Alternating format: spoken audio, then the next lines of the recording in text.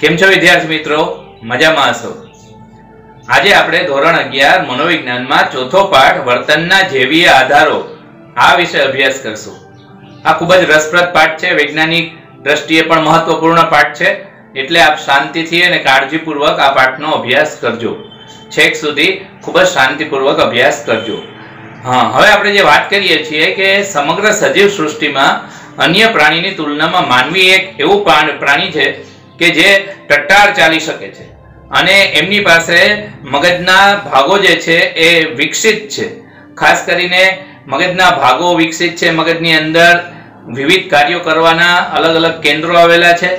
એ જ નહીં, પણ ભાષાની અંદર પણ માણસ જે છે સમૃદ્ધ છે. એની પાસે ખૂબ સારી એવી સુસંસ્કૃત ભાષા પણ છે. એટલે અન્ય પ્રાણીની સરખામણીમાં માણસ જે છે એ ખૂબ જ વિકસિત કહી શકીએ આપણે. ખાસ કરીને ઉત્ક્રાંતિના હજારો વર્ષો બાદ આપણે માણસનું મગજ જે છે એ જોઈએ તો એ અન્ય પ્રાણીની વાત કરીએ તો શરીરની તુલનામાં આપણી પાસે મોટું મગજ છે. અને એની સાથે સાથે આપણે જોઈએ તો ચેતાતંત્રનો પણ આપણી અંદર ખાસ કરીને વિકાસ થયેલો છે. અને એને કારણે આજે આપણે તર્ક કરવો, ખાસ કરીને અમૂર્ત રીતે વિચારવું, એ પણ આપણે ખૂબ સારી રીતે કરી શકીએ છીએ. અને વિવિધ મગજની અંદર જેનો ઉપયોગ કરવાનો થાય એવા માનસિક કાર્યોની અંદર પણ માણસ જે છે ખૂબ સારી રીતે કાર્ય કરી શકે છે. એટલે જનરલી જોઈએ એઝ જનરલ તો અન્ય પ્રાણીની તુલનામાં માણસ જે છે વધારે ખૂબ જ વિકસિત મગજ હોવાને લીધે માણસ જે છે બીજા કરતા ઘણો બધો આમ જોવો તો ચડિયાતો સાબિત થાય છે. તો એ બધું જાણવું હોય તો આપણે શરીરની રચના જાણવી જોઈએ, ચેતાતંત્ર જાણવું જોઈએ અને એની સાથે સાથે જોડાયેલા જે કંઈ અંતસ્રાવી ગ્રંથિઓ અને અન્ય મુદ્દાઓ છે, એની જાણકારી આપણે જાણવી જોઈએ. ઉત્ક્રાંતિ અંદર માણસ કઈ રીતે આગળ છે, આ બધું જાણવું જોઈએ. તો આ પાઠની અંદર આ બધી વસ્તુની ચર્ચા કરવામાં આવી છે.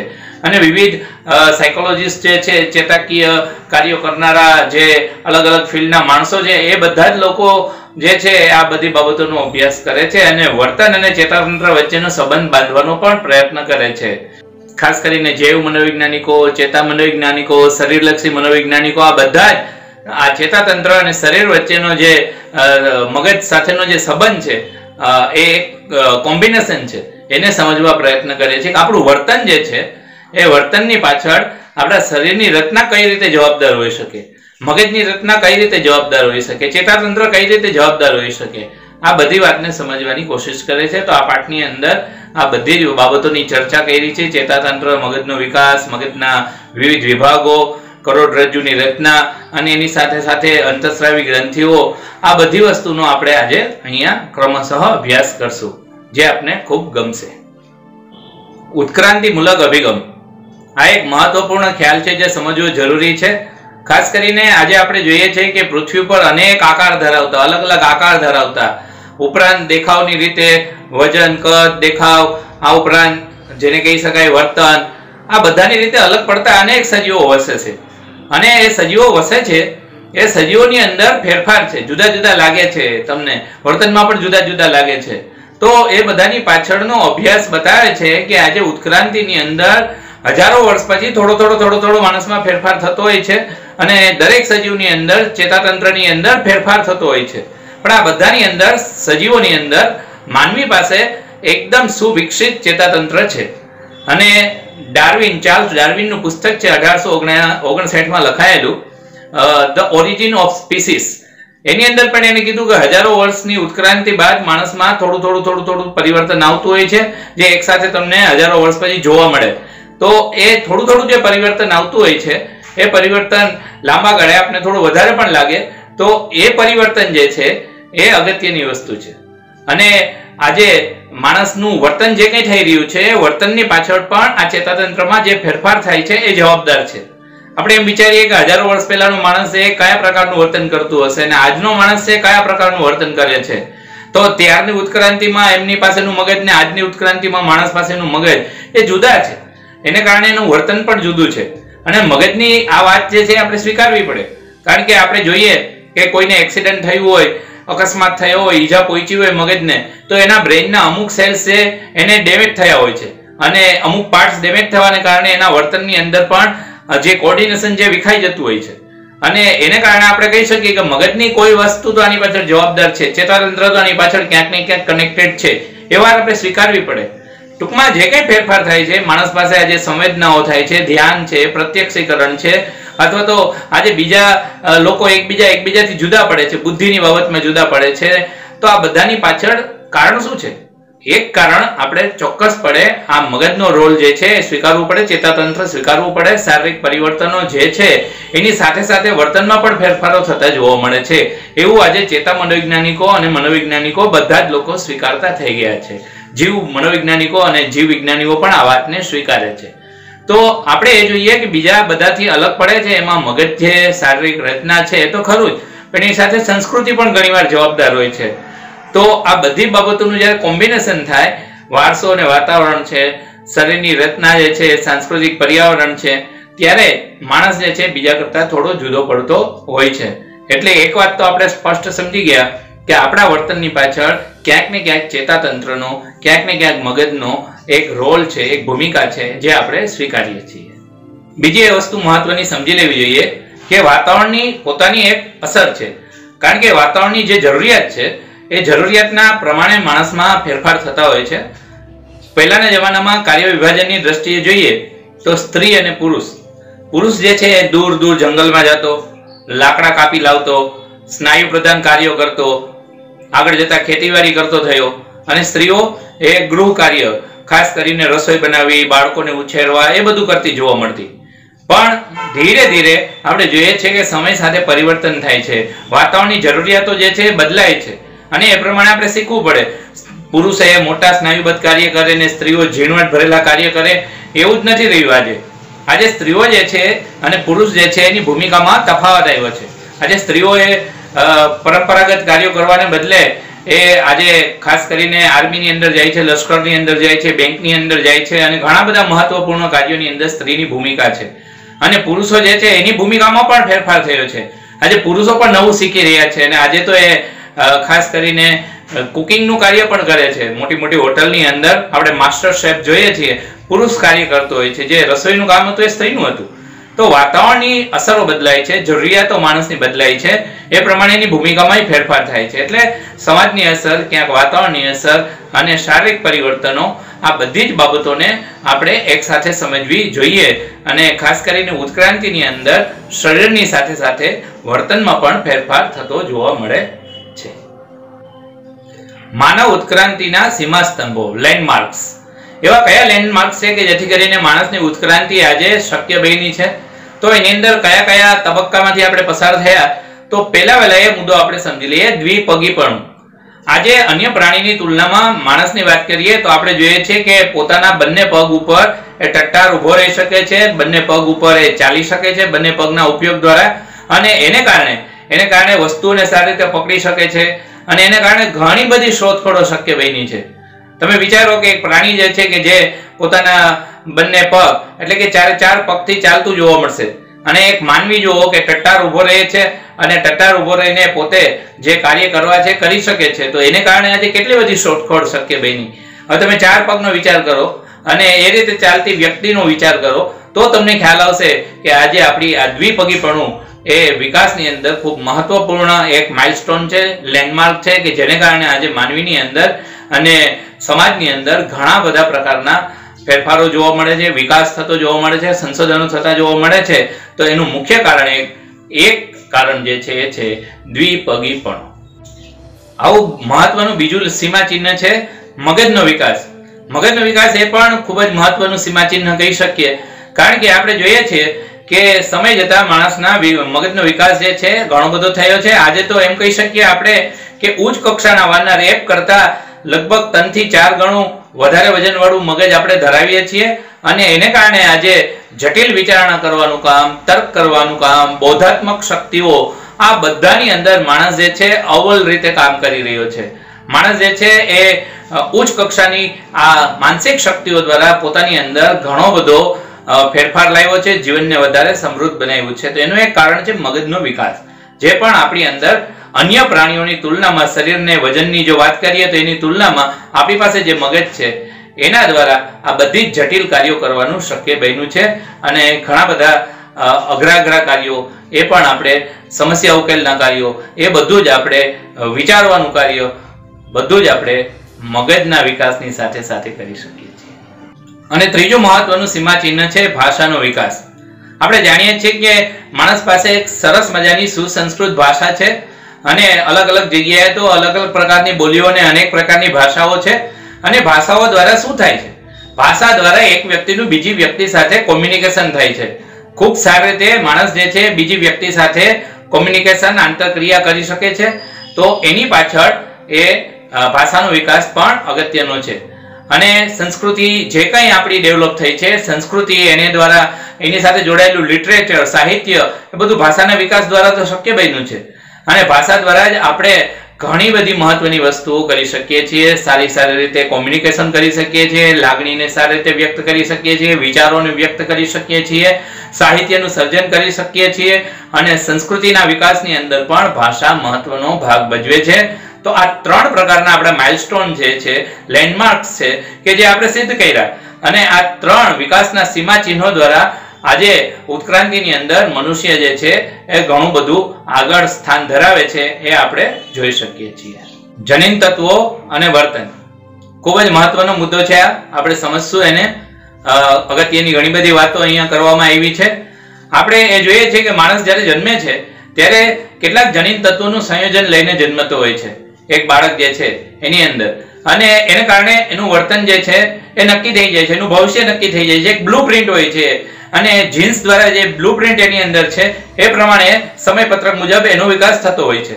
તો આપણે એ સમજી લઈએ કે પ્રજોત્પત્તિ શાસ્ત્ર જેનેટિક્સ એટલે શું? તો કે આપણા પૂર્વજો પાસેથી શારીરિક અને મનોવૈજ્ઞાનિક લક્ષણો જે આપણી અંદર વારસામાં મળે છે, એનો અભ્યાસ કરતી બ્રાન્ચ, શાખા એને આપણે સામાન્ય અર્થમાં પ્રજોત્પત્તિ શાસ્ત્ર કહી શકીએ જેનેટિક્સ અને જેનેટિક્સ એ સાયન્સ છે. અને એનું એક અલગ વિજ્ઞાન છે, એ સમજવા જેવું છે. અને એની અંદર ખાસ કરીને રંગસૂત્રો છે જનીન તત્વો છે, આ બધાની સમજ આપણે સમજવી જોઈએ. કારણ કે આપણે જન્મીએ છીએ ત્યારે આપણે ત્રેવીસ ત્રેવીસ રંગસૂત્ર આપણને માતા અને પિતા તરફથી પ્રાપ્ત થયેલા હોય છે અને એની અંદર પાછા જનીન તત્વો હોય છે અને એ આપણા વારસાના નિર્ધારકો છે.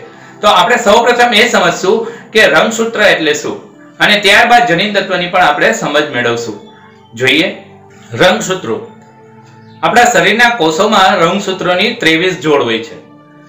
ક્રોમોઝન્સ ખાસ કરીને આપણે જો માઇક્રોસ્કોપ દ્વારા એને જોઈએ, તો સૂક્ષ્મદર્શક યંત્ર દ્વારા આપણને એ જોવા મળે છે. ખાસ કરીને 46 રંગસૂત્રો જોવા મળે છે, ત્રેવીસ જોડ જોવા મળે છે. જે રંગીન મણકાઓની જે માળાઓ હોય કે એકબીજા પોરવાયેલા હોય, એ રીતે આપણને જોવા મળે છે. અને એ રંગસૂત્રો જે છે, એ નરી આંખે જોઈ શકાતા નથી. એને માઇક્રોસ્કોપ દ્વારા જોવા પડે છે. ખાસ કરીને પારડા દોરડા જેવો હોય અને એના ઉપર રંગ કરવાથી આપણે જોઈ શકાય એટલે એને રંગસૂત્ર સામાન્ય રીતે કહેવામાં આવતા હોય છે. અને આ રંગસૂત્ર જે છે એ ડીએનએ ના બનેલા હોય છે, જે દરેક પ્રજનન કોષની અંદર જોવા મળશે.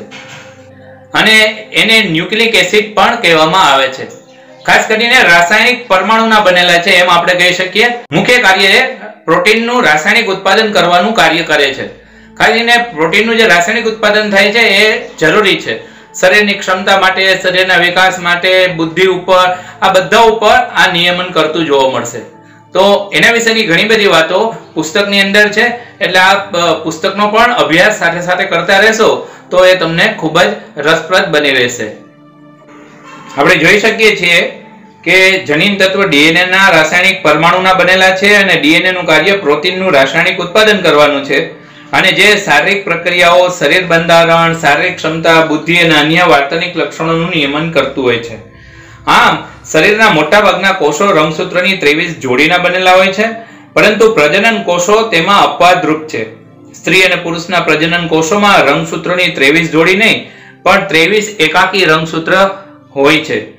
સ્ત્રીના પ્રજનન કોષ ને સ્ત્રી બીજ, અંડકોષ અને પુરુષના પ્રજનન કોષને શુક્રાણુ કહેવામાં આવે છે. ગર્ભધાન સમયે માતા તરફથી ત્રેવીસ, પિતા તરફથી ત્રેવીસ રંગસૂત્રો વારસામાં મળે છે અને દરેક રંગસૂત્રો હજારો જનીન તત્વ ધરાવતો હોય છે. આમ છતાં પુરુષના રંગસૂત્રો ખાસ કરીને અમુક બાબતમાં જુદા પડતા હોય છે. ખાસ કરીને આપણે જોઈએ કે શુક્રકોષ, શુક્રકોષનું ત્રેવીસમું રંગસૂત્ર કાં તો લાંબુ એક્સ પ્રકારનું અથવા તો એનાથી એક તૃતીયાંશ કદ નાનું વાય પ્રકારનું હોઈ શકે છે. જો પુરુષના પ્રજનન કોષમાં એક્સ પ્રકારનો પ્રજનન કોષ, સ્ત્રીના એક્સ પ્રજનન કોષને ફલિત કરે, તો ફલિત સ્ત્રીબીજમાં રંગસૂત્રોની ત્રેવીસમી જોડી એક્સ એક્સ રંગસૂત્રોની બનશે. પરિણામે જન્મનાર બાળક એ છોકરી હશે. આથી વિરુદ્ધ પુરુષના પ્રજનન કોષમાં નો વાય પ્રકારનો પ્રજનન કોષ, સ્ત્રીના એક્સ પ્રજનન કોષને ફલિત કરે, તો ફલિત બીજ ફલિત સ્ત્રી બીજમાં રંગસૂત્રોની ત્રેવીસમી જોડી એક્સ વાય બનશે. એને કારણે છોકરો હશે, જે જન્મશે તે. આમ કહી શકાય કે બાળકની જાતિ નક્કી કરવામાં પુરુષના પ્રજનન કોષનું રંગસૂત્ર નિર્ણાયક બનતું હોય છે. આપણે જોયું એ પ્રમાણે, ખાસ કરીને ત્રેવીસમું રંગસૂત્ર પુરુષનું જે છે એ અગત્યનું છે અને એ જ બાળકની જાતિ નક્કી કરવાની અંદર મહત્વનો ભાગ ભજવે છે. ક્યારેક પહેલાના જમાનાની અંદર એવું જોવા મળતું કે સ્ત્રીઓને બાળકીઓ જન્મતી તો એની સાથે દુર્વ્યવહાર થતો અથવા તો સ્ત્રીઓ જે છે એને સાઈડમાં રાખીને બીજી કોઈ સ્ત્રી સાથે પુરુષ પરણી જતો. અને સ્ત્રીની જવાબદાર કહેતા કે સ્ત્રી દ્વારા સ્ત્રી જન્મે છે. પણ આપણે જોયું કે સ્ત્રીઓ એ જવાબદાર નથી, પુરુષનું ત્રેવીસમું રંગસૂત્ર જવાબદાર છે. કારણ કે સ્ત્રીઓ પાસે તો સમાન પ્રકારના રંગસૂત્ર છે. પુરુષ પાસે વાય પ્રકારનું પણ છે. તો જો ત્રેવીસમું રંગસૂત્ર વાય પ્રકારનું એક્સની સાથે મળે એક્સ વાયની જોડી બને, તો બાબો આવે. અને એક્સ એક્સની જોડી હોય, એટલે કે સમાન પ્રકાર હોય. સ્ત્રી સ્ત્રી પાસે પણ એક અને પુરુષ પાસે ત્રેવીસમું એક. તો એક્સ એક્સની જોડીથી સ્ત્રી જે છે જન્મે છે એટલે કે બાળકી જન્મે છે. આમ આના માટે પુરુષ જવાબદાર કહી શકીએ આપણે. એટલે કે ત્રેવીસમું રંગસૂત્ર જવાબદાર છે એમ કહી શકીએ. બાકી તો બધું કુદરતની ઈચ્છાએ અને નિર્માણ કરેલી ઘટનાઓ બનતી હોય છે. પણ આપણે એ સમજી લઈએ કે આના માટે સ્ત્રીની અંદર જે જાતિ નક્કી થાય છે એની અંદર સ્ત્રી કરતા પુરુષના રંગસૂત્રનો રોલ મહત્વનો છે. બાબો કે બેબી માટે થઈને. જનીન તત્વ. જીન્સ. ખૂબ જ મહત્વની વસ્તુ છે આ. સમજવી જોઈએ, મુદ્દા તરીકે. ખાસ કરીને રંગસૂત્રોની અંદર જનીન તત્વો હોય છે. અને જનીન તત્વો જે છે, વારસાના નિર્ધારકો છે, વારસો નક્કી કરે છે. હજારો જનીન તત્વ છે, એટલે ક્યારે કયું જનીન તત્વ મળશે નક્કી નથી. અને એ પ્રમાણે બાળકનો આકાર એ જુદો પડે છે એકબીજાથી એકબીજાથી. ખાસ કરીને દેખાવની બાબતમાં જુદા પડે છે. બાંધો, બંધારણ, સ્કીન, આંખનો રંગ, વાળનો રંગ, આ બધી જ બાબતો જે છે એ જીન્સ જનીન તત્વ નક્કી કરતા હોય છે. આપણે જોયું કે હજારો જનીન તત્વ છે અને જનીન તત્વો જે છે એ વારસાના નિર્ધારકો છે. ખાસ કરીને જ્યારે વારસામાં પૂરેપૂરા જનીન તત્વોનો સમૂહ મળે ત્યારે એને જીનોટાઇપ કહેવામાં આવે છે. અને આંખનો રંગ છે, વાળનો રંગ છે, અવલોકિત સમૂહ જ્યારે પણ પ્રાપ્ત થાય ત્યારે એને ફિનોટાઇપ કહેવામાં આવે છે. બહુ મહત્વની આ સમજ છે. બુદ્ધિ, માનસિક વિકૃતિ જેવા વાર્તનિક લક્ષણોમાં જેવી આધારોની સમજૂતી આપતા અભ્યાસ ક્ષેત્રને વાર્તનિક જનીન તત્વ કહેવામાં આવે છે. સમાન વારસો મળ્યો હોય છતાં બાળકો વર્તનની બાબતમાં માતા પિતા કરતા જુદા પડે છે. આ તફાવતના કારણ બે હોય. એક, બાળકોના જનીન તત્વો જે વારસામાં મળ્યા હોય છે, પરંતુ તેમના માતા પિતાને અગાઉની પેઢીઓ દ્વારા મળેલા વારસો પણ આ તફાવત માટે જવાબદાર હોય છે. બીજું કારણ એ કે બાળકો માતા પિતા કરતા પર્યાવરણમાં રહીને, જુદા પર્યાવરણમાં રહીને ઉછરતા હોય, એને કારણે પણ એનું વર્તન જુદું જોવા મળે છે. અને બંને વસ્તુ મહત્વની છે. વારસો અને વાતાવરણ બંને મહત્વના છે. જેવીય વારસો જીવન અનુભવો માટે ફલક પૂરું પાડે છે. છોકરા તરીકે જન્મ્યો હોય, ઉછેર દરમિયાન એની સાથે છોકરીઓ કરતા જુદી રીતે વ્યવહાર કરવામાં આવ્યો હોય છે. અને વ્યક્તિની વર્તન ભાતો પણ એ પ્રમાણે જુદી જોવા મળે છે, છોકરાઓ અને છોકરીઓની બાબતમાં. આમ છોકરાઓ અને છોકરીઓ જુદા વાતાવરણમાં ઉછરે છે. ખાસ કરીને એની સાથે જુદો વ્યવહાર કરવામાં આવે છે અથવા તો વાતાવરણ સમાન છે ઘરનું, પરંતુ વ્યવહાર જુદો છે અને એને કારણે એની અંદર એ પોતાની જાત વિશેની સમજણ પણ જુદી છે. એટલે વારસો અગત્યનો છે, કારણ કે એનેથી એ છોકરી કે છોકરાનું શરીર, આકાર, દેહ ધારણ કર્યો છે. પણ વર્તન માટે એની સાથે જે આપવામાં આવતું વાતાવરણ છે, એ પણ મહત્વની વસ્તુ છે. પણ એ આખો જુદો વિષય થઈ ગયો. ચેતાતંત્ર તેને, તેના ભાગો. મહત્વની બાબત આપણે અહીંયા સમજી લેવી જોઈએ અને ચાર્ટની અંદર સમજાયેલું છે એના વિભાગો, એના પેટા પ્રકારો એ પણ સમજાવેલા છે. તો પહેલા આપણે વાત કરીએ કેન્દ્રીય ચેતાતંત્ર સેન્ટ્રલ નર્વસ સિસ્ટમ. તો સેન્ટ્રલ નર્વસ સિસ્ટમ જે છે, એની અંદર આપણે જોઈ શકીએ છીએ કે કરોડરજ્જુ અને મગજ આ બે મહત્વની બાબતો છે. કરોડરજ્જુ જે છે, આપણી પીઠનો ભાગ છે, કે જે આપણા માટે ખૂબ જ અગત્યનો છે. એક તો જે દ્વિપગીપણું અગાઉ પણ જોયું આપણે, ટટાર આપણે ઊભા રહી શકીએ છીએ. કરોડરજ્જુને હિસાબે છે. કરોડરજ્જુ એક રિલે સ્ટેશન છે. અહીંથી મગજ સુધી સંદેશાઓ પહોંચાડે છે. મગજથી આવતા સંદેશાઓ જે છે, શરીરના વિવિધ વિભાગો સુધી પહોંચાડે છે. એટલે એક પ્રકારે બ્રિજ છે. પસાર થાય છે એના ઉપરથી. આ મેસેજીસ અને આ મગજ દ્વારા જે આવતા જવાબી રૂપી સંદેશાઓ છે, એને અંગો સુધી પહોંચાડે છે. એટલે એક રિલે સ્ટેશનનું કામ કરે છે.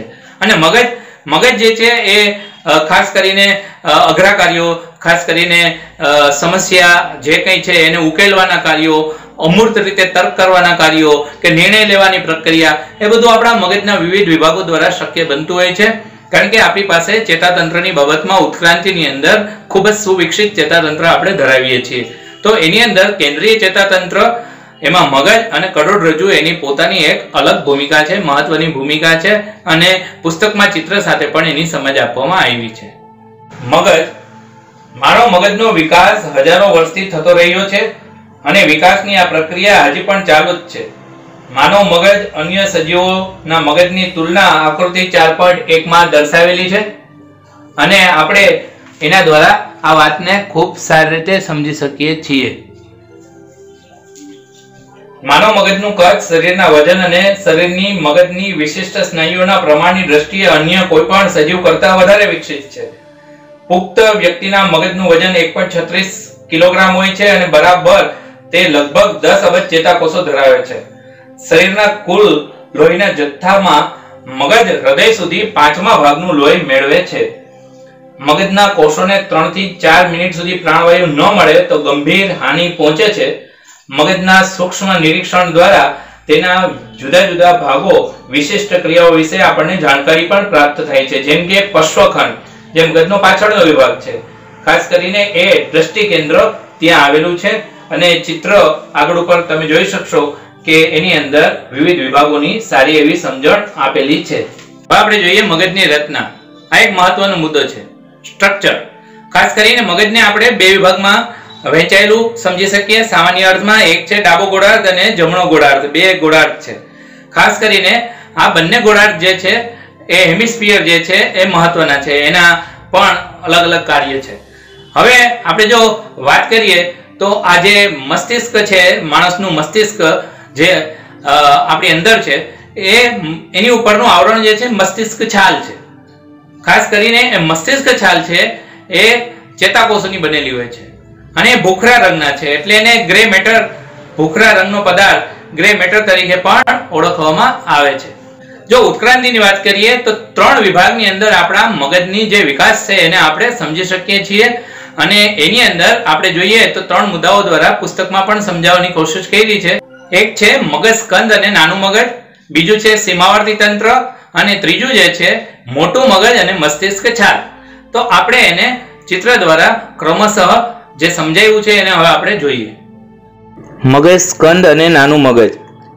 મગજ સ્કંદ લંબ ચેતા અને ચેતા સેતુ અને મધ્ય મગજનું બનેલું છે. મગજ સ્કંદ શ્વાસોશ્વાસ, હૃદયના ધબકારા અને ચાલવા ઊંઘવા જેવી ક્રિયાઓનું નિયંત્રણ કરે છે. ચેતા સેતુ નાના મગજ સાથે જોડાયેલ હોય છે. તે સ્વપ્નો અને ચાલવાની ક્રિયા હારે સંકળાયેલ છે. મગજ સ્કંદની ટોચ પર ચેતાકોષોના ઝુમખાના બનેલા પિંડ આકારનો અવયવ આવેલ છે, જેને થેલેમસ તરીકે ઓળખવામાં આવે છે. થેલેમસ બે મસ્તિષ્ક ગોળાર્ધો વચ્ચે આવેલ છે. થેલેમસ દ્રષ્ટિ, શ્રવણ, દબાણ, પીડા જેવી સાંવેદનિક સંકેતોને ગ્રહણ કરી મસ્તિષ્ક છાલના ચોક્કસ ભાગોને મોકલે છે. આ રીતે થેલેમસ રિલે સ્ટેશનનું કાર્ય કરે છે. નાનું મગજ, મોટા મગજની પાછળની બાજુએ આવેલ છે. તે શરીરના હલનચલનોનું નિયમન કરવામાં સંકલન કરવામાં અને સરળ બનાવવામાં મદદ કરે છે. હલનચલનોના તરહની સ્મૃતિને સંગ્રહિત કરે છે. એને કારણે ચાલવું, દોડવું, નૃત્ય કરવું અને સાયકલ ચલાવવા જેવી ક્રિયાઓ ટેવ પાડ્યા પછી તે ક્રિયાઓ પર આપણે ધ્યાન આપવું પડતું નથી. હવે જોઈએ સીમાવર્તી તંત્ર. Limbic system. સીમાવર્તી તંત્ર પ્રાચીન સસ્તન પ્રાણીઓમાં મગજના આકારને મળતું આવે છે, તેથી તેને જૂના મગજ, ઓલ્ડ બ્રેન તરીકે ઓળખવામાં આવે છે. મગજસ્કંદ નાનું મગજ અને કરોડરજ્જુ ધરાવતા દરેક સસ્તન પ્રાણીઓમાં તેમજ પેટે ચાલતા પ્રાણીઓમાં પણ સીમાવર્તી તંત્ર જોવા મળે છે. સીમાવર્તી તંત્ર શરીરનું તાપમાન, લોહીનું દબાણ, લોહીમાં શર્કરાનું પ્રમાણ જેવી શરીરની આંતરિક ક્રિયાઓનું નિયમન કરવાનું કાર્ય કરે છે. તે મસ્તિષ્ક છાલમાંથી નીકળતા અને મસ્તિષ્ક છાલ તરફ જતા સંદેશાઓના સંકલનનું કાર્ય પણ કરે છે. સીમાવર્તી તંત્ર હાઇપોથેલેમસ સાથે ગાઢ રીતે સંકળાયેલ છે. હાઇપોથેલેમસ દ્વારા થતી કેટલીક સાહજિક અને આવેગિક પ્રતિક્રિયાઓને અવરોધી અને આ ક્રિયાઓ ઉપર તે વધારાનું નિયંત્રણ પણ કરે છે. સીમાવર્તી તંત્ર હિપોકેમ્પસ એમિગડાલા અને હાઇપોથેલેમસનું બનેલું છે. તેનો મોટો ભાગ જેને હિપોકેમ્પસ તરીકે ઓળખવામાં આવે છે. તે ભાગ સ્મૃતિ ખાસ કરીને લાંબા સમય સુધી માહિતીને સંગ્રહિત કરવામાં મહત્વનો ભાગ ભજવે છે. એમી ગડાલા આક્રમકતામાં મહત્વની ભૂમિકા ભજવે છે. સ્મૃતિ એ આવેગ અને કેટલીક મહત્વની મૂળભૂત પ્રેરણાઓ સાથે પણ સંકળાયેલ છે. હાઇપોથેલેમસ આપણા મગજનો એક નાનકડો ભાગ છે, પરંતુ તે વર્તનમાં તો બહુ મહત્વનો ભાગ ભજવે છે. ભૂખ, તરસ, જાતીયતા જેવી પ્રેરણાઓ તેમજ આવેગાત્મક વર્તનમાં થતી શારીરિક પ્રક્રિયાઓનું નિયમન પણ કરે છે. હાઇપોથેલેમસ અંતસ્રાવી ગ્રંથિઓના પ્રવૃત્તિઓનું પણ નિયંત્રણ કરે છે અને શરીરને સંતુલિત પણ રાખે છે. હવે આપણે જોઈશું મોટું મગજ અને મસ્તિષ્ક છાલ. મોટું મગજ અને મસ્તિષ્ક છાલ ઉચ્ચ સ્તરની બોધાત્મક અને આવેગિક ક્રિયાઓનું નિયંત્રણ કરે છે. મસ્તિષ્ક છાલ વિના આયોજન, જટિલ કારક હલનચલનો, પ્રત્યક્ષીકરણ કે વાણી જેવી ક્રિયાઓ શક્ય નથી. મોટું મગજ માનવ મગજના બે તૃતીયાંશ ભાગનું બનેલું છે. માત્ર ચાર મીમીની જાડાઈ ધરાવતી મસ્તિષ્ક છાલ આખા મગજનું આવરણ બને છે. મસ્તિષ્ક છાલમાં ચેતાકોષ, ચેતાકીય માળખું અને ચેતાક્ષોના ઝુમખાઓનો પણ સમાવેશ થાય છે. જેને લીધે સુગ્રથિત વર્તન, કલ્પના પ્રતિકો સાહચર્યો ઈચ્છાઓ અને તરંગો જેવી માનસિક ક્રિયાઓ પણ શક્ય બને છે. મોટા મગજના બે ગોળાર્ધો સુધી બોધાત્મક તેમજ આવેગિક ક્રિયાઓ ભાગ ભજવે છે. સામાન્ય રીતે આ બે ગોળાર્ધો સમાન હોવા છતાં ડાબુ ગોળાર્ધ વધારે પ્રભાવશાળી હોય છે. જે શરીરના જમણા ભાગના અવયવનું નિયંત્રણ કરે છે અને દરેક ગોળાર્ધ કેટલાક વિશિષ્ટ કાર્યો પણ કરે છે. જેમ કે વાણીનું નિયંત્રણ હંમેશા ડાબા ગોળાર્ધથી થાય છે. આ બે ગોળાર્ધો ચેતાક્ષોના મેદમય આવરણયુક્ત સફેદ ઝુમકા સાથે પણ સંકળાયેલ છે. મસ્તિષ્ક છાલનો બહારનો ભાગ ભૂખરા રંગનો હોય છે કારણ કે તે કોષ શરીર અને લઘુતંતુઓનો બનેલો હોય છે. અસંખ્ય ગળીઓ ધરાવતી મસ્તિષ્ક છાલ ખોપરીના આવરણમાં સુરક્ષિત હોય છે. જો મસ્તિષ્ક છાલ ગડીઓ વિનાની હોત, તો તેના કદ કરતા અનેક ગણી મોટી હોત. હવે આપણે જોઈશું મસ્તિષ્ક ખંડો. મસ્તિષ્કના ખંડો.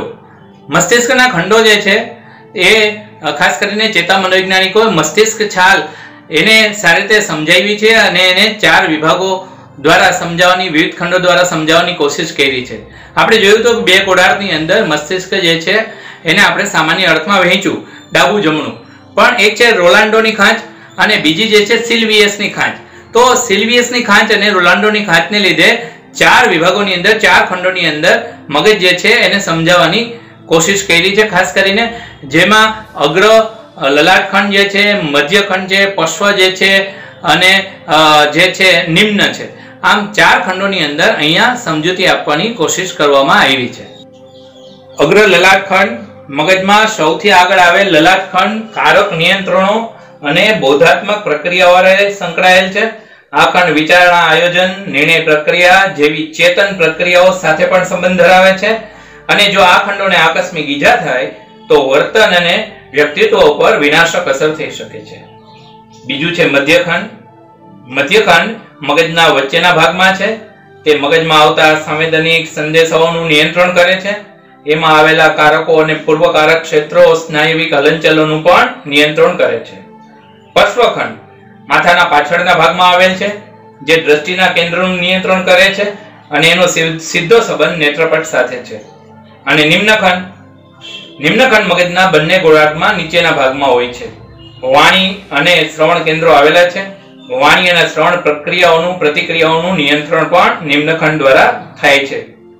આમ આપણે એ બાબત ધ્યાનમાં રાખીએ કે કોઈ એક ખંડ સ્વતંત્ર રીતે ચોક્કસ વર્તનનું નિયંત્રણ કરતો નથી, પણ બધું કોમ્બિનેશનથી થતું હોય છે.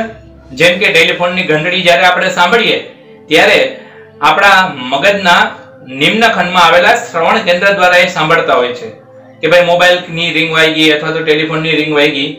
ટેલિફોનના સાધનને આપણે જે ઉપાડીએ છીએ, એ ઉપાડતા પહેલા આપણે એને જોઈએ છીએ.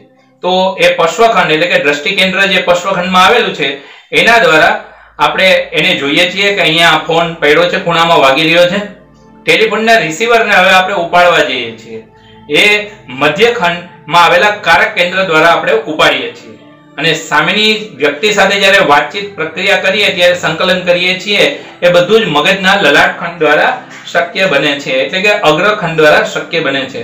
આમ જટિલ વર્તન અને સુમેળ સાધવામાં મગજના ઘણા વિસ્તારો સંકળાયેલા હોય છે. આમ આપણે જોયું કે જે કંઈ આપણું વર્તન થાય છે, એ વર્તનમાં મગજના વિવિધ ખંડો કઈ રીતે રોલ ભજવે છે, એ પછી એક સામાન્ય મોબાઈલ ઉપાડવાની ઘટના દ્વારા પણ આપણે જોયું કે એ ઉપાડીએ છીએ, ત્યારે જોઈએ છીએ, ઉપાડીએ છીએ, અવાજ સાંભળીએ છીએ, સૌપ્રથમ અવાજ સાંભળ્યા પછી જોઈએ છીએ, પછી ઉપાડીએ છીએ અને વાણીનું સંકલન કરીએ છીએ. એમાં મગજના ચારે ચાર ખંડોનો એક પોતાનો રોલ છે. ભૂમિકા છે અને બધાના કોમ્બિનેશનથી સરસ રીતે આપણું વર્તન થતું હોય છે. હવે આપણે અહીંયા સમજશું કરોડરજ્જુ જેની વાત મેં તમને અગાઉ કરેલી, એ પ્રમાણે એક રિલે સ્ટેશનનું કામ કરે છે. અને કરોડરજ્જુ જે છે, એ બહુ મહત્વની છે, એને સાચવવી જોઈએ. ખાસ કરીને થોડું ટટ્ટા બેસવાની આદત પણ રાખવી જોઈએ. કારણ કે આપણા બિહેવિયરની અંદર પણ એક મોટો રોલ ભજવી રહી છે. અને એક આપણી જે ટચલી આંગળી છે, વ્યાસ જેટલી નળાકાર ચેતા તંતુઓની બનેલી કરોડરજ્જુ મગજના છેડેથી શરૂ થઈ મગજના પીઠના ભાગમાં રહેલા કરોડના મણકાઓના પોલાણમાંથી સીધી હારમાં પસાર થાય છે. કરોડરજ્જુ શરીરને મગજ આરે સાંકળતી હોય છે. તે મગજ અને પરિઘવર્તી ચેતાતંત્ર વચ્ચેના સંદેશાઓનું સંકલન કરે છે. તે જ્ઞાનેન્દ્રિયો દ્વારા ગ્રાહ્ય થતી માહિતીને મગજ સુધી પહોંચાડે છે. અને મગજ તરફથી આવતા સંદેશાઓને સ્નાયુઓ, ગ્રંથિઓ તેમજ શરીરના અન્ય ભાગો સુધી પહોંચાડે છે. આ રીતે કરોડરજ્જુ મગજ અને શરીરના વિવિધ અવયવો વચ્ચેના સંદેશાઓના વહન માર્ગ તરીકે કાર્ય કરે છે. રિલે સ્ટેશન તરીકે. કરોડરજ્જુની ચેતાઓમાં ઈજા થાય કે પગ, પગમાં કે હાથમાં લકવાની અસર થઈ શકે છે. જો ચેતાઓને ઈજા થાય તો પગ કે હાથમાં લકવાની અસર થઈ શકે છે. લકવાના કિસ્સામાં ગંભીરતા કરોડરજ્જુને કેટલી ઈજા થઈ છે એના ઉપર આધાર રાખે છે. આમ કરોડરજ્જુ જે છે ખૂબ જ મહત્વની છે આપણા શરીરની અંદર. આપણે એને સાચવવી જોઈએ, જે આપણે જોયું. અને ખાસ કરીને જે આપણા મગજના ભાગથી અહીંયા એન્ડમાંથી શરૂ કરી અને આપણા શરીરને જોડે છે. હવે આપણે જોઈશું પરિઘવર્તી ચેતાતંત્ર. કેન્દ્રીય ચેતાતંત્રમાં કરોડરજ્જુ અને મગજની આપણે વાત કરી. અહીંયા જે આપણે વાત કરશું, શારીરિક ચેતાતંત્ર અને ખાસ કરીને અનુકંપી તંત્ર, પરાનુકંપી તંત્ર, જે સ્વયં સંચાલિત ચેતાતંત્રના ભાગ છે, આ બધી વાત આપણે ક્રમશઃ જોઈતા જઈશું. અને આ ચેતાતંત્રના વિવિધ વિભાગો જે છે એ બહુ જ મહત્વના છે, કારણ કે આપણા વર્તન ઉપર એ બધા ચેતાતંત્ર પોતપોતાની રીતે અસર કરી રહ્યા છે. જેમ કરોડરજ્જુ અને મગજની અસર છે, એવી રીતે સ્વયં સંચાલિત ચેતાતંત્ર અને એમાં જે વિભાગો છે, એની પોતાની એક અસર છે. જોઈએ આપણે. શારીરિક ચેતાતંત્ર. શારીરિક ચેતાતંત્ર કારક ચેતાઓના શરીરના ઘટા પટાદાર સ્નાયુઓને ક્રિયાશીલ બનાવે છે, જે હાથ પગના હલનચલન માટે જવાબદાર છે. શારીરિક ચેતાતંત્રની સાંવેદનિક ચેતાઓ આંખ, નાક, કાન તેમજ સ્પર્શ ગ્રાહકો જેવા શરીરના મુખ્ય અવયવોના ગ્રાહકોમાંથી આવે છે. આ તંત્ર દ્વારા સંવેદન પ્રવાહો કરોડરજ્જુ અને મગજ સુધી પહોંચે છે અને ત્યાંથી પટ્ટાદાર સ્નાયુઓના કારક તંતુઓ દ્વારા સંદેશાઓનું વહન થાય છે. દાખલા તરીકે તમારે બસ પકડવી છે મગજ, બસ સ્ટેન્ડ તરફ ચાલવા માટે પગના સ્નાયુઓને સંદેશો મોકલશે. જ્યારે તમે બસ સ્ટેન્ડ તરફ ચાલતા હશો, ત્યારે તમે બસ સ્ટેન્ડ પર આવેલી બસને જોશો. તમારે બસને જવા દેવી નથી, તેથી તમે બસ પકડવા માટે દોડવાનું નક્કી કરશો. મગજ પગના સ્નાયુઓને દોડવા માટેના સંકેતો મોકલશે. યોગ્ય પ્રતિક્રિયાઓ માટે શારીરિક તંત્રના સ્નાયુવંચિક, સ્નાયુવિક હલનચલનો મગજના સંદેશાઓને પ્રતિપુષ્ટિ આપશે અને યોગ્ય પ્રતિક્રિયાઓ થશે. ક્રિયા પૂરી થાય ત્યાં સુધી મગજ દ્વારા પગના સ્નાયુઓને સંકેતો મોકલવાનું ચાલુ જ રહેશે. સ્વયં સંચાલિત ચેતાતંત્ર, ઓટોનોમિક નર્વસ સિસ્ટમ. ખાસ કરીને પરિવર્તી ચેતાતંત્રનો બીજો મહત્વનો આ વિભાગ છે અને એ અગત્યનો છે. ખાસ કરીને જ્યારે પણ આપણે બેભાન હોઈએ, મૂર્છિત અવસ્થામાં હોઈએ, ત્યારે પણ આ કેન્દ્ર પોતાનું કાર્ય કરે છે. ત્યારે આ તંત્ર પોતાની રીતે કામ કરતું હોય છે. અને એના ઉપર માણસનો આમ જો તો કોઈ કંટ્રોલ નથી, એટલે એને એની જાતે ચાલતું હોવાથી અનિચ્છાવર્તી તંત્ર પણ કહી શકાય. કારણ કે એમાં આપણી ઈચ્છા નથી ચાલતી. એની જાતે એનું પોતાનું કામ કરી જ રાખે છે. અને ખૂબ જ મહત્વની બાબત છે આપણા માટે. આપણા વિકાસની અંદર એ પોતાનો એક અલગ રોલ છે. હવે આપણે એ જોઈએ કે નિંદ્રાવસ્થામાં પણ એ પોતાનું કામ કરે છે. અને એની સાથે જે જોડાયેલા છે શરીરના ઓર્ગન એમાં હૃદય આવે, ફેફસા આવે મૂત્રપિંડ આવે અને અંતસ્રાવી ગ્રંથિઓ આવે કે જે બધા જોડાયેલા છે અને બધાનું કાર્ય જે છે એ આ તંત્ર દ્વારા સહજ રીતે થયા રાખે છે.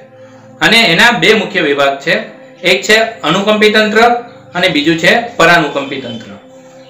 એક તંત્ર એવું છે કે જે એક્ટિવેટ કરે છે. જ્યારે પણ આવેગની સ્થિતિ આવે, ત્યારે શરીરને એક્ટિવેટ કરવું પડે. ત્યારે એ અનુકંપી તંત્ર કરે. પણ આવેગ આવ્યા પછી જ્યારે શાંતિની જરૂર હોય, શરીરને પાછું રિલેક્સ થવાની જરૂર હોય, ત્યારે પરાનુકંપી તંત્ર એ શરીરને રિલેક્સ કરવાનું કાર્ય કરે. એટલે કે બંને એકબીજાને પૂરક થઈને કામ કરે છે કે જેથી કરીને આપણે જે છે એ જીવનની વિવિધ ઘટનાઓની સ્થિતિની અંદર ખૂબ બેલેન્સ થઈને વર્તી શકીએ છીએ. સ્વયં સંચાલિત ચેતાતંત્રના મુખ્ય બે વિભાગો આપણે જોયા અનુકંપી તંત્ર પરાનુકંપી તંત્ર સૌપ્રથમ જોઈએ અનુકંપી તંત્ર કટોકટીની પરિસ્થિતિમાં કોઈ પણ ઘટનાનો સામનો કરવાનો હોય ત્યારે અથવા મનોભાર પ્રત્યે તત્કાલીન પ્રતિક્રિયાઓને પહોંચી વળવાનું હોય ત્યારે અનુકંપી તંત્ર ઉપયોગી બને છે. અનુકંપી તંત્ર હૃદય લાળ ગ્રંથિ હોજરી, રક્તવાહિનીઓ વગેરે સાથે જોડાયેલ છે. આ તંત્રની ઉત્તેજનાની સ્થિતિમાં હૃદયની ગતિ વધે છે, જેથી શરીરના અવયવોને વધારે પ્રમાણમાં લોહી મળતું થાય છે. જુદી જુદી કારક પ્રતિક્રિયાઓને પહોંચી વળવા અંતઃસ્રાવી ગ્રંથિતંત્ર ઉદ્દીપ્ત થાય છે. આવા શારીરિક ફેરફારોને શરીરની તત્કાલીન શક્તિ પૂરી પાડે છે. આ રીતે ભયજનક કે કટોકટીની પરિસ્થિતિનો સામનો કરવામાં અનુકંપી તંત્ર મદદરૂપ બને છે. અને પરાનુકંપી તંત્ર એનું પૂરક છે. પરાનુકંપી તંત્રની કામગીરી, અનુકંપી તંત્રની કામગીરીની બિલકુલ આપણે જોયું એ પૂરક તરીકે કાર્ય કરતી છે. આમ તો તમને જુદી લાગશે, વિરુદ્ધ પ્રકારની લાગશે, પણ એ પૂરક છે. અનુકંપી તંત્ર દ્વારા ઉત્તેજિત હૃદયના ધબકારા શ્વાસોશ્વાસ તેમજ રક્ત પ્રવાહ જેવી ક્રિયાઓને પરાનુકંપી તંત્ર સામાન્ય બનાવી દે છે. આમ બંને તંત્રો એકબીજા વિરુદ્ધ છે છતાં એકબીજાના પૂરક પણ છે. એને કારણે શરીરની સમતુલાની પરિસ્થિતિ જળવાઈ રહે છે અને રોજિંદુ જીવન પણ નિયમિત ચાલે છે. કટોકટી કે ઉત્તેજનાની સ્થિતિમાં અનુકંપી તંત્ર અને શારીરિક પરિસ્થિતિમાં પરાનુકંપી તંત્રની કામગીરી ઉપયોગી બનતી હોય છે. આમ બંને ખૂબ મહત્વના છે. આમ આપણે જોયું કે અનુકંપી તંત્ર અને પરાનુકંપી તંત્ર એકબીજાથી વિરુદ્ધ કાર્ય કરે છે, પણ બંને એકબીજાથી સાથે રહીને પૂરક પણ કાર્ય કરે છે, કે જેથી કરીને આપણી અંદર સમતુલા જળવાઈ રહે છે. હવે આપણે જે સમજશું, એ છે અંતઃસ્રાવી ગ્રંથિઓ અને એની સાથે જોડાયેલી મહત્વની બાબતો. ખાસ કરીને અંતઃસ્રાવી ગ્રંથિ એ આપણા વિકાસની અંદર ખૂબ જ મહત્વનો ભાગ ભજવે છે અને આપણે અગાઉ જોયું એમ એ સ્વયં સંચાલિત ચેતાતંત્ર હારે પણ જોડાયેલું છે. એના દ્વારા કાર્યરત થાય છે. આ મંતસ્રાવી ગ્રંથિઓનું એ આપણા વિકાસની અંદર ખૂબ જ મહત્વનું યોગદાન છે. અને અહીંયા આમ તો આઠ પ્રકારની એન્ડોગ્રાઇન્સ ગ્લેન્ડની વાત કરવામાં આવી છે, જે નલિકા રહિત ગ્રંથિઓ છે, કે જેનો સ્રાવ સીધે સીધો લોહીમાં ભળતો હોય છે. એટલા માટે થઈને એને હોર્મોન્સ કહીએ છીએ આપણે કે જે સીધે સીધા આપણા લોહીમાં ભળી જતા હોય છે અને આપણા વિકાસમાં ચેતાતંત્રની અંદર પણ અને રુધિરાભિષણ તંત્ર અને બીજી ઘણી બધી બાબતો સાથે જોડાયેલ છે અને આપણા વિકાસમાં ખૂબ મહત્વનો ભાગ ભજવે છે. અને એ સ્રાવ સીધા ભળે છે એટલે અંદર જ ભળી જાય છે. આમ બહિર્સ્રાવ હોય, જેમ કે આંખમાંથી અશ્રુ આવે, તો અહીંયા એવું નથી કે બહિર્સ્રાવ થાય. એ સીધે સીધા લોહીમાં ભળી જાય છે. એટલે એને અંતઃસ્રાવ કહેવામાં આવ્યા છે. તો એ અંતઃસ્રાવો જે છે એ આઠ પ્રકારના છે. એમાંથી કેટલાક મહત્વના અંતઃસ્રાવોની સમજ આપણા પુસ્તકની અંદર આપી છે. જે હવે આપણે જોઈએ. પેલી ગ્રંથિ છે મસ્તિષ્ક ગ્રંથિ. પિચ્યુટરી ગ્લેન્સ ખાસ કરીને મસ્તિષ્ક ગ્રંથિ મગજના અંદરના ભાગમાં આવેલી છે. તેનું કદ વાલના દાણા જેટલું હોય છે. આ ગ્રંથિનું નિયંત્રણ હાઇપોથેલેમસ દ્વારા થાય છે. મસ્તિષ્ક ગ્રંથિમાંથી જળતા સ્ત્રાવો શરીરના અન્ય ગ્રંથિઓને પણ સક્રિય બનાવે છે એટલે એને સર્વોપરી માસ્ટર ગ્લેન્ડ પણ કહેવામાં આવે છે. એની વચ્ચે ફાંટ હોવાથી બે ભાગમાં વેચાય છે, અગ્ર મસ્તિષ્ક ગ્રંથિ અને પશ્વ મસ્તિષ્ક ગ્રંથિ. અને બંને ગ્રંથિઓ સ્વતંત્ર રીતે પોતપોતાની રીતે કાર્ય કરે છે. અગ્ર મસ્તિષ્ક ગ્રંથિના હોર્મોન્સ, રસસ્ત્રાવો, ચયાપચયની ક્રિયામાં વૃદ્ધિ, ઊંચાઈ, જાતીય વિકાસ, પ્રજનનની ક્રિયા તેમજ ચેતાતંત્ર ઉપર પણ અસર કરે છે. આ ગ્રંથિઓમાંથી ખાસ કરીને થાઇરોટ્રોફિક એડ્રીનો કોર્ટીટ્રોફિક લેક્ટેજેનિક લ્યુટિનાઇઝિંગ જેવી તેમજ અન્ય વૃદ્ધિ માટે જરૂરી હોય એવા સ્રાવો ઝરતા હોય છે. થાઇરોટ્રોફિક સ્રાવ કંઠગ્રંથિને ઉદ્દીપ્ત કરવાનું કાર્ય કરે છે. જ્યારે એડિનો કોર્ટિકોટ્રોફિક સ્રાવ એડિનો કોર્ટ્રેક્સ ગ્રંથિના સ્રાવને ઝરવા માટે ઉદીપ્ત કરે છે. લેક્ટેજેનિક સ્ત્રાવ, સ્તન અને દુગ્ધ ગ્રંથિઓના સ્રાવને મદદરૂપ કરે છે. લ્યુટિનાઇઝિંગ સ્ત્રાવ મુખ્યત્વે પુરુષ અને સ્ત્રીના મુખ્ય અને ગૌણ જાતીય લક્ષણોના વિકાસમાં ભાગ ભજવે છે અને જાતીય લક્ષણોને પુખ્તતા સુધી ટકાવી રાખે છે. વૃદ્ધિ સ્ત્રાવ શરીરના વૃદ્ધિ માટે જવાબદાર છે અને તે બાલ્યાવસ્થાથી પુખ્તાવસ્થા સુધીના વિકાસ ઉપર નિયંત્રણ રાખે છે. પશ્વ મસ્તિષ્ક ગ્રંથિ, એનો જ બીજો ભાગ આપણે જોયો. એમાંથી ખાસ કરીને ઓક્સિટોસિન વેસોપ્રેસિન તેમજ એન્ટીડ્યુરી ડ્યુરેટિક નામના સ્રાવો ઝરે છે. એક્સિટોસિન સ્રાવ ગર્ભાશયના સ્નાયુઓ અને સ્તનની ગ્રંથિઓને ઉદ્દીપ્ત કરે છે. વેસોપ્રેસિન સ્ત્રાવ લોહીનું દબાણ વધારે છે. પિચ્યુટ્રીન સ્રાવ અસરથી લોહીનું દબાણ અને પેશાબનું પ્રમાણ વધે છે. ગર્ભાવસ્થાના અંતિમ સમય સમયમાં મંદ સંકોચનોને પરિણામે પ્રસવમાં વિલંબ થાય ત્યારે આ સ્રાવ એટલે કે હોર્મોન્સનું ઇન્જેક્શન આપે છે. અને એન્ટીડ્યુરેટિક સ્રાવ પેશાબનો દર અને પ્રકારનું પ્રમાણનું નિયંત્રણ કરે છે. જો આ રસસ્રાવ ઉત્પન્ન ન થાય, તો પેશાબનું પ્રમાણ દસ ગણું વધી જતું હોય છે. બીજી ગ્રંથિ છે કંઠ ગ્રંથિ, થાઇરોઇડ ગ્લેન્ડ. કંઠ ગ્રંથિ ગળામાં નીચેના ભાગમાં આગળની બાજુએ આવેલી છે. તેનો આકાર પતંગિયા જેવો છે. કંઠ ગ્રંથિમાંથી થાઇરોક્સિન નામનો સ્રાવ ઝરે છે, જે શરીરની ચયાપચયની ક્રિયાઓનું નિયમન કરે છે. થાઇરોક્સિનનો સ્રાવ વધુ પ્રમાણમાં ઝરે તો હાઇપર થાઇરોડિઝમ અતિસ્રાવ નામની સ્થિતિ સર્જાય છે. આ સ્થિતિનો ભોગ બનેલ વ્યક્તિ અતિક્રિયાશીલ બને છે અને વધુ પડતી તાણ અનુભવે છે. આવી વ્યક્તિનું વજન ઓછું હોય છે, કદમાં પાતળી હોય છે અને જો આનેથી ઉલટી વાત કરીએ કે થાઇરોક્સિનનું પ્રમાણ ઘટી જાય તો હાઇપોથાઇરોડિઝમ એટલે કે અલ્પસ્રાવ નામની સ્થિતિ સર્જાય છે. જેમાં વ્યક્તિ વધારે થાક અનુભવે છે, આળસુ બની જાય છે, શરીર સ્થૂળ બની જાય છે, એટલે કે વજન વધી જાય છે. જો જીવનના પ્રારંભિક વર્ષોમાં આ સ્રાવ ઘટી જાય, તો બાળકનું કદ વધતું નથી અને એને આપણે વામનીય એટલે કે ઠીંગુજી તરીકે ઓળખીએ છીએ એટલે કે એવી એની સ્થિતિ સર્જાય છે જે અનિષ્ટ સ્થિતિ છે. ખાસ કરીને ઇંગ્લિશમાં એને ક્રેટિનિઝમ તરીકે ઓળખવામાં આવે છે. ઠીંગણા કદની સાથે બાળકના બુદ્ધિ વિકાસમાં પણ મંદ થાય છે.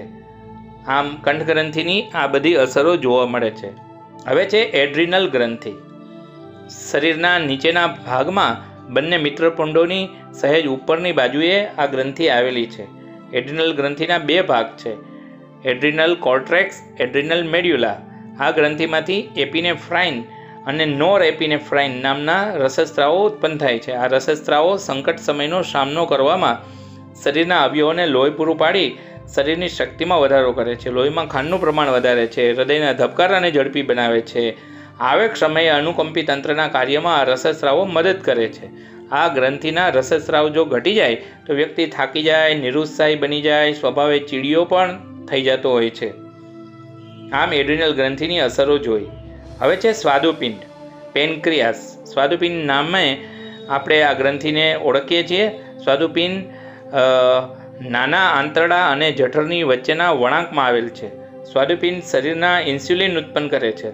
ઇન્સ્યુલિન અને ગ્લુકાગોન નામના સ્રાવો દ્વારા સ્વાદુપિંડ લોહીમાં શર્કરાનું એટલે કે ગ્લુકોઝનું પ્રમાણ નિયંત્રણ કરે છે. સ્વાદુપિંડમાંથી પાચન સ્રાવો પણ ઝરતા હોય છે. શરીરમાં ઇન્સ્યુલિનનું પ્રમાણ વધી જાય તો લોહીમાં શર્કરાની પ્રમાણ ઘટી જતું હોય છે. અને જો ઇન્સ્યુલિનનું પ્રમાણ ઓછું હોય, તો લોહીમાં શર્કરા એટલે કે ગ્લુકોઝ વધી જાય છે.